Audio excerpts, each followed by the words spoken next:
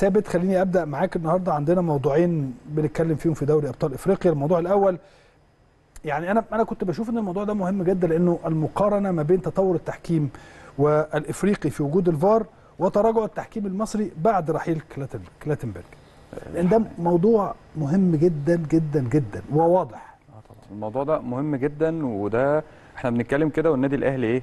في واصل. يعني إحنا الحمد لله يعني في نص نهائي دوري أبطال أفريقيا ويعني كسب 3-0 في مباراة الذهاب. كذلك في الدوري متصدر الدوري وإن شاء الله بنقترب من حسم الدوري. فأنت بتتكلم ومش من النادي الأهلي إيه لأ مش محتاج أو مش بنتحجج بتحكيم أو مش بنعترض على حاجة. لكن إحنا بنتكلم نقد بناء من أجل إن أنت تطور منظومة التحكيم في مصر.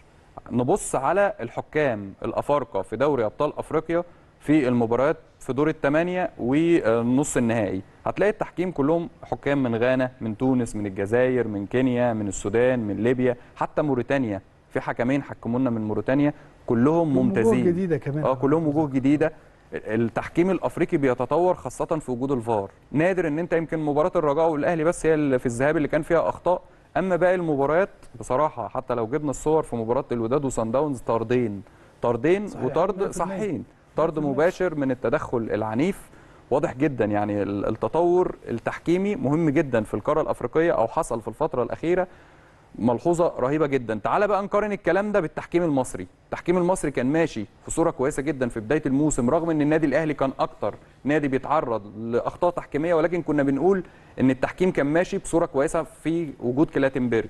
ليه؟ لأن كان في راجل عادل كان في راجل بيطلع يحلل الأخطاء التحكيمية كان في راجل بيحاسب حتى لو كان شايف من وجهة نظره إن اللعبة دي مثلا ما فيهاش ضربه جزاء لا خلاص كان بيحلل قدام الناس كلها في التحكيم على على الملأ كده للتحكيم. دي طبعا الحالات أهي في مباراة ال- الوداد وصن داونز. طرد طردين للاعيبة صن داونز. طرد مباشر كان واضح جدا. مستحقين. مستحقين طبعا. لكن اللي بنشوفه في الكرة المصرية أو في الدوري المصري أو في كأس مصر في الفترة الأخيرة من التحكيم بصراحة لازم فتح تحقيق في الحتة دي.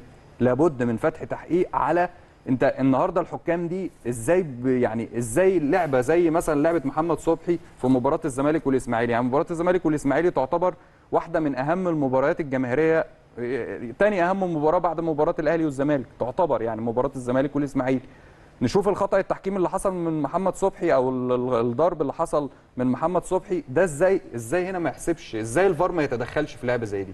يعني الفار ما الفار يعني لو موجود طب لو مش هيتدخل في لعبة زي دي هيتدخل إمتى؟ صح. يعني شوف ال- الفرق أنت هنا إحنا هنا برضه هنرجع ونقول إن إحنا بنتكلم والنادي الأهلي متصدر الدوري ولكن الأخطاء التحكيمية الموجودة أخطاء كارثية.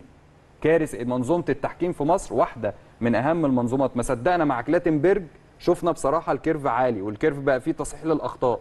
دلوقتي مع بريرا لا بنشوفه ولا ولا ولا بيطلع في أي حتة ولا نعرف حتى ان الحكام. هات لعبة وليد عبد الرازق في مباراة الزمالك وبروكسي برضه بضربتين جزاء. قول قول هنا برضو يعني ممكن ما كانش معاه فار ولكن هم لعبتين سهلين جدا. يعني اللعبتين هي دي محتاجة فار. دي محتاجة فار. آه. مش فار فانت انت بص على منظومة التحكيم. إحنا هنا يا جماعة بننتقد نقد بناء. النادي الأهلي زي ما بنقول متصدر الدوري. الحمد لله ماشي بشكل كويس في أفريقيا.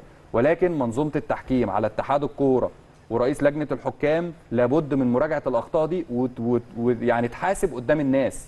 الحكام دي راحت فين؟ وهل الحكم ده اتحاسب فعلا؟ وإيه سبب الأخطاء دي؟ إزاي الفار ما مش اتكلمش مهم إن هو اتحاسب أو ما اتحاسبش. ما هو لو اتحاسب هل لما يرجع بعد الحساب هيحسب الحاجات دي ولا مش هيحسبها؟